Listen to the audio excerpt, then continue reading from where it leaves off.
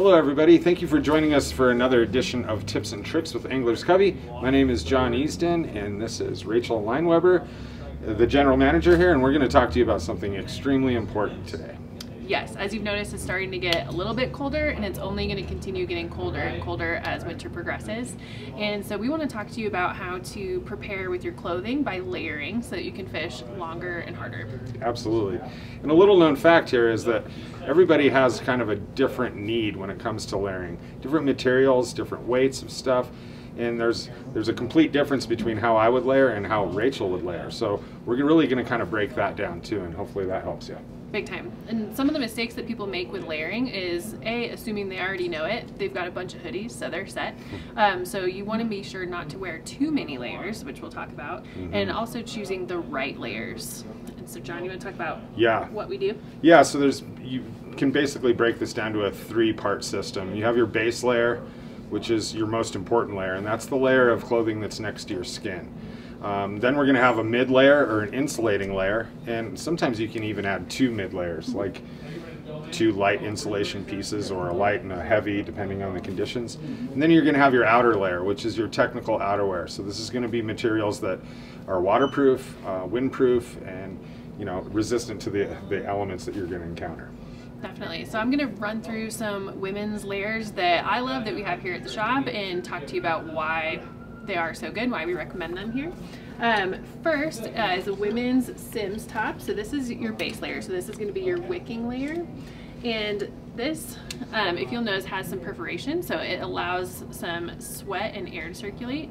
Um, and any base layer, you want to make sure that it has zero cotton content. A lot of us in the industry have heard the adage of cotton kills. Cotton kills. And that is true. So you want it to have zero cotton, either be uh, wool or a wool blend or synthetic like polyester. So um, this is a great layer. It sits very close to your skin. This isn't where we want it to like be loose and flowy. We want this to be next to our skin to wick every ounce of moisture away from our body as possible to keep us a little bit warmer.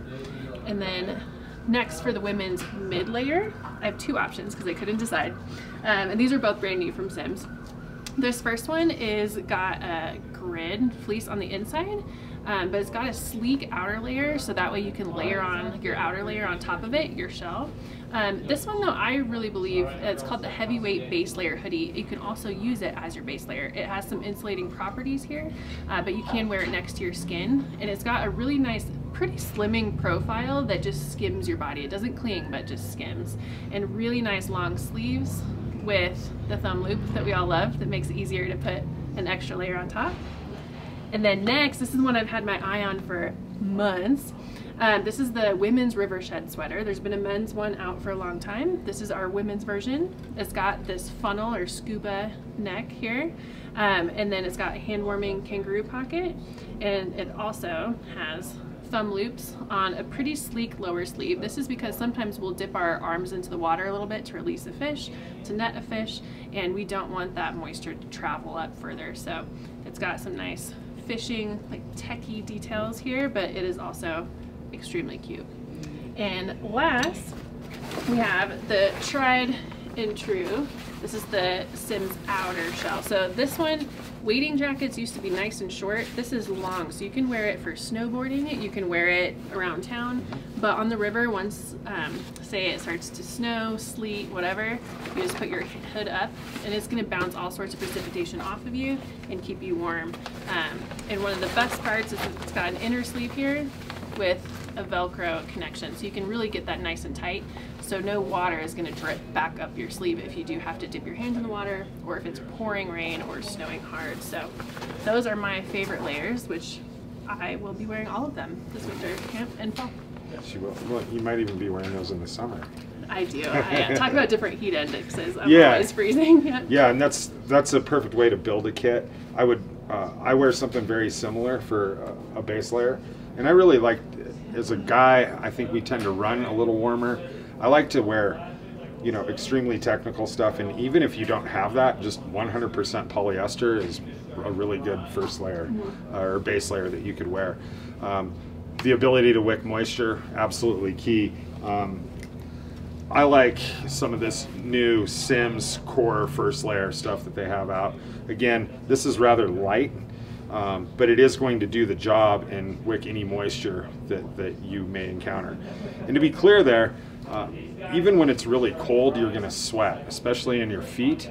Um, and when you sweat, if the material can't get the sweat away from your skin, that's when you get cold. So, to Rachel's point about having too much, very valid. So, I like to really have very light first layer and then adjust my mid layers as, as the temperatures see fit. This is a great uh, first layer piece, wicks moisture great, really comfortable. And again, all your uh, base layer stuff is going to be very tight to your skin, so it's probably not if you look like me, something you want to go parade around town on. Um, and I love this, the, the, the Core Extreme top. Um, this is a really good mid layer. I use this kind of year round in the winter. Um, it's got the built-in grid face mask and the hood. Uh, and it fits very tight, so it's going to keep everything in. Um, and then something, you know, very similar to the, the jacket Rachel held up there, but very technical, um, extremely waterproof, windproof, and element proof. So um, that's kind of how I would layer. And then the most important part, I think, is Socks? Yeah. Yes, I agree.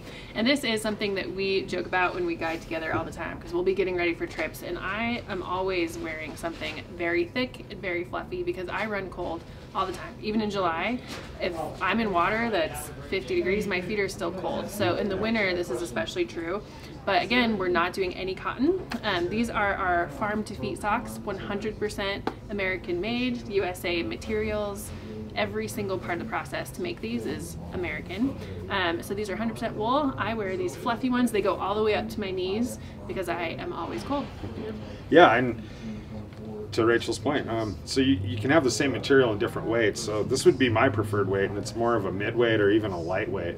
Um, and this is probably going to be a sock that I'm going to wear on the coldest day.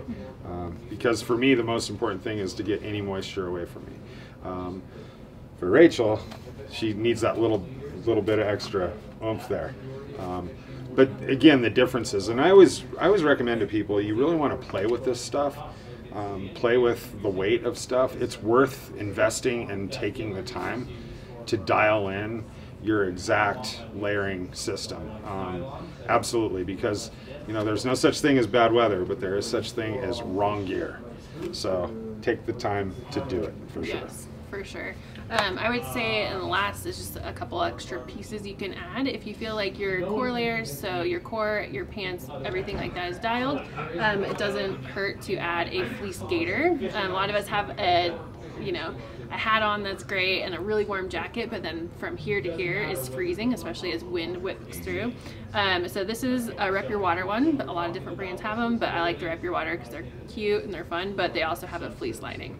Um, tons of different designs in this too. You don't have to be as loud and out there as this one is. But. Absolutely.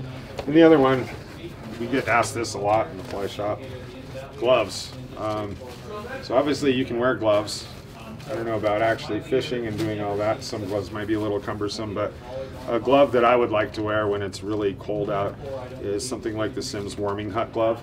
Um, this is something that I can just keep on my hands and stay warm. Where obviously, if I need to cast or change flies or something, I'm not going to do that with with these gloves on but they're meant to take on and off and just continually keep your hands warm. They come with a nifty little hand warmer pocket, pocket right in the wrist, so right along against your veins there, and it helps keep your hands warm. Um, yeah, and the other thing that I'll just throw a pitch into, you, you've probably seen it a lot, you've probably seen a lot of us doing it, is wearing black latex gloves. That's probably my number one game changer in terms of winter fishing or cold weather fishing.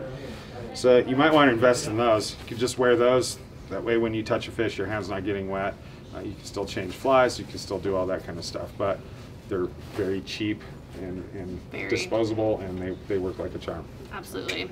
And I thought you were full of garbage at first when you told me about Yeah. that. I thought you were just jumping on the bandwagon, but they really they make a huge difference and you can get a box of 100 for super cheap. Yep. Um, I think we're going to start having them here at the shop just so to make it easier for people to Yep. get them because it, it's such a game changer. So Thank you guys for learning about layering today. If you have any questions or you want to come in and try on any of this stuff, just come on into the shop and we would be happy to help you. Absolutely, yeah. If you take the time to really dial this in, you're going to have longer, longer days on the river and you can fish a lot harder. Awesome. Thanks, guys. Thank you.